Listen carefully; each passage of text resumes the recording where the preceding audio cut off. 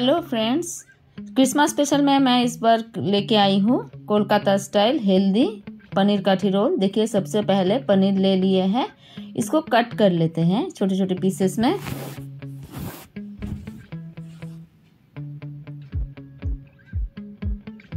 Role तो आप लोग बनाते होंगे, लेकिन इस बार देखिए इंडियन स्टाइल में। ये देखिए, सारे जो सब्ज़ी वगैरह प्याज, ये सब है। मैं कट करके रखी हूँ। ये कोलकाता स्टाइल पनीर काठी रोल है। देखिए कैसे बनाया है, लेकिन यहाँ पे मैंने हेल्दी बनाया है। क्योंकि यहाँ सबसे पहले मैं आटा ले लेती हूँ। आटा, मैदा दोनों ही यूज़ की हूँ मैं।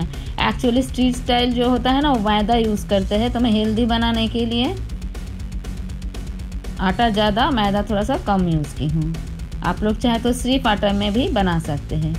देखिए, आटा और मैदा मैं ले ली हूँ एक बोल में।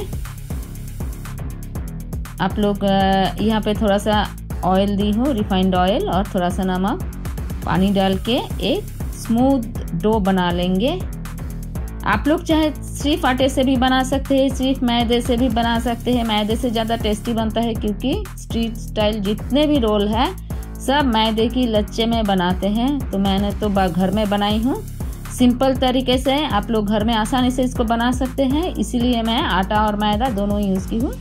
चाहे तो आप लोग सिर्फ़ आटे से भी बना सकते हैं, और हेल्दी बनेगा ये। सारे स्पाइसेस जो इंडियन है, आप लोग देखिए, बहुत आसान है। और अभी क्रिसमस है न्यू ईयर है विंटर है तो गर्मा गर्म खाने का मन करता है। ये देख, थोड़ा तेल डाल के इसको और थोड़ा सा स्मूथ बना लेते हैं।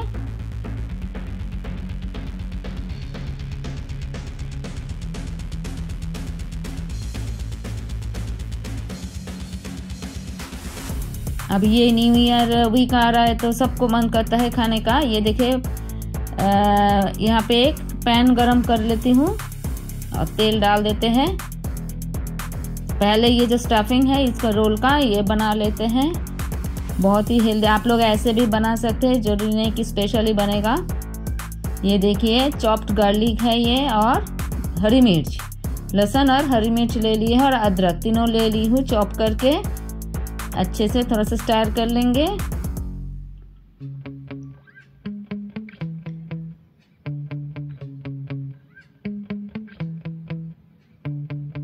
यहाँ पे प्याज स्लाइस करके रखी थी, इसको डाल दी हूँ मैं।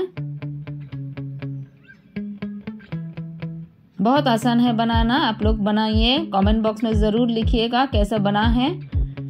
वीडियो एंड तक देखिएगा। स्किप मत कीजिएगा। ये देखिए रेड बेल पेपर यूज़ की हूँ। आप लोग चाहे तो इसको स्किप भी कर सकते हैं। मैं यूज़ की हूँ, मेरे पास था येलो बेल पेपर और ये कैप्सिकम ये तीनों कैप्सिकम ही है। लाल कलर का येलो कलर का और लाल पीला और ये जो हरा ग्रीन और टमाटर। एक्चुअली वो इसको बेल पेपर बोलते हैं।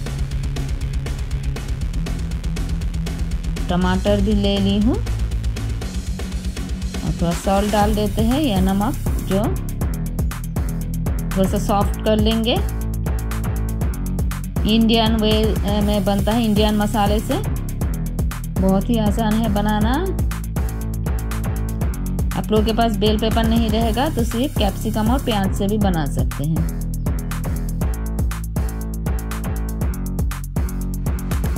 थोड़ा सा सॉफ्ट कर लेते हैं।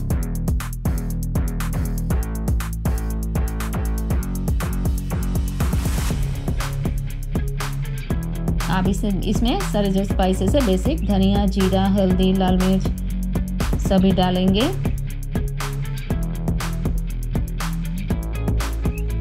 और अच्छे से मिक्स कर लेंगे मसाले।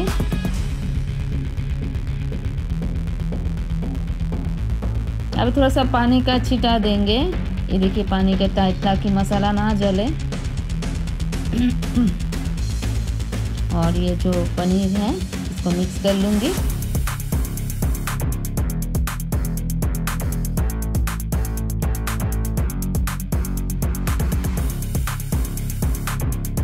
इसमें गरम मसाला पाउडर है। इसको बनाइए और गेस्ट को भी खिलाइए और बच्चों को ज़रूर खिलाइएगा जो टिफ़िन वगैरह में दीजिएगा। ये देखिए हो गया है तो इसको निकाल ली हूँ एक डिश में। ऐसे भी आप लोग खा सकते हैं इसको। ज़रूरी नहीं है कि रोली बनाओ। ऐसे भी सिर्फ़ एक डिश ले लिया या तो पराठा रोटी के साथ ऐसे भी ले सकते हैं। देखिए कितना बढ़िया बना है। इसको अभी साइड में रख देंगे। और जो रोटी पराठा है, रोटी बना लेंगे पहले। गोल गोल करके आप लोग लच्छे में भी बना सकते हो। भारी होता है करके मैं इसमें, इसी में ही बनाई हूँ प्लेन बच्चों को टिफ़िन में या टिफ़िन बॉक्स में या लंच बॉक्स में भी आप लोग ऐसे बना के दे सकते हैं, क्योंकि ये जो मसाले वगैरह सब घर में ही रहता है। ये देखिए रोटी शेप में बना लीजिए। एक बन गया है सेकंड बनाते हैं सेम प्रोसेस है।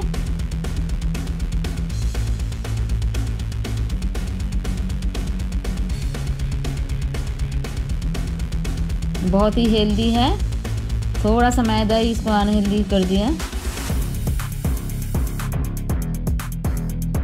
बस हो गया है, अब सेकेंगे।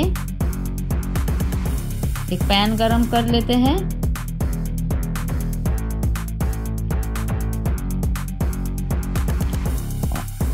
देखिए, पैन गरम हो गया है तो ये जो रोटी है, इसको डाल देंगे। दोनों तरफ़ थोड़ा थोड़ा सेकेंगे, थोड़ा दोनों तरफ़ हल्का।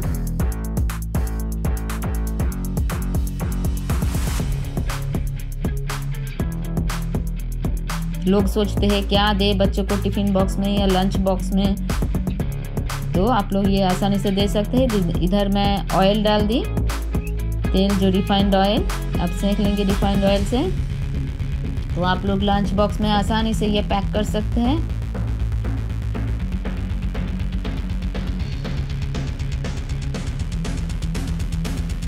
या टिफ़िन बॉक्स में।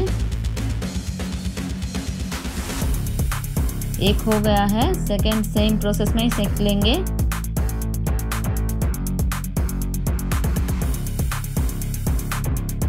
अब रैपिंग जो है, ये अलग अलग टाइप के होते हैं। देखिए, अब बन गया है। अब इसको भी उतार लेंगे।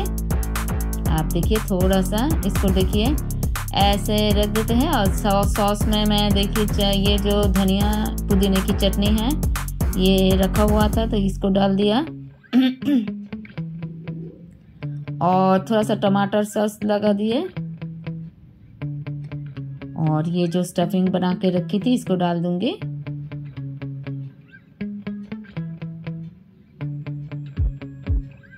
थोड़ा सा ऊपर से सॉस डालेंगे। चाहे आप लोग चिली सॉस भी या मेयोनेज भी डाल सकते हैं।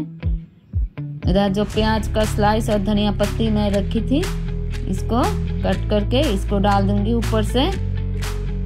देखिए, बहुत बढ़िया लगता है खाने में। अब आप लोग बनाइए और नींबू का रस निचोड़ देंगे।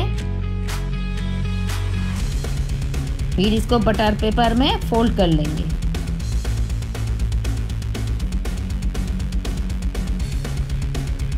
फोल्ड कर लिए। एक हो गया है, इसको साइड में अभी रख देंगे।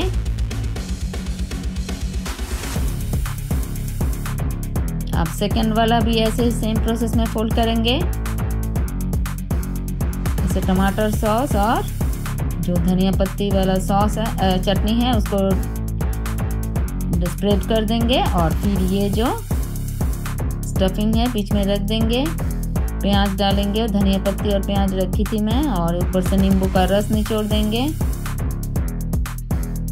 और इसको बटर पेपर में फोल्ड करेंगे। है ना? बहुत आसान बनाना।